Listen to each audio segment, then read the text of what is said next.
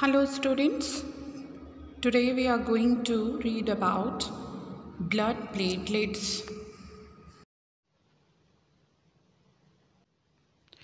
Blood platelets are also called as thrombocytes. They are minute structures which don't have nucleus in them. They keep on floating in the blood. They are about 2 lakh to 4 lakh in number per cubic mm of blood in adult human.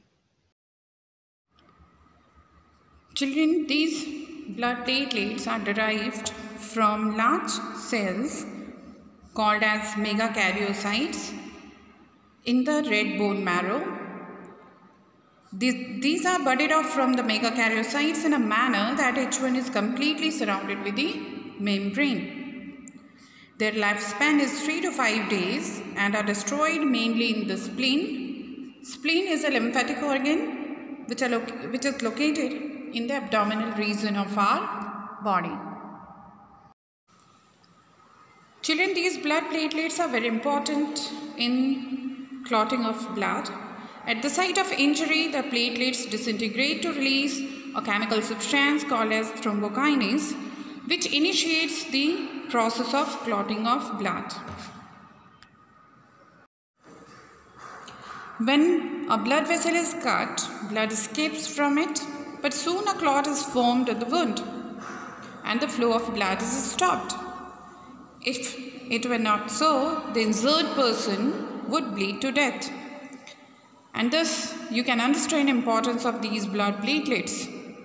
Children, this clotting process or coagulation occurs in a series of steps.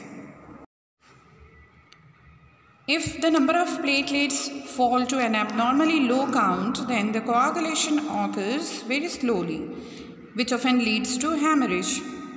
Such a situation occurs in certain diseases, such as the viral dengue fever. Sometimes Certain conditions may require the infusion of platelets in the form of a platelet transfusion given intravenously to restore normal platelet count. Children intravenously means through veins. It has also been seen that when platelet counts decreases due to viral fever such as dengue etc a diet including milk, green leafy vegetables, papaya leaf extract, pomegranate, wheatgrass, etc. helps to increase platelet counts naturally.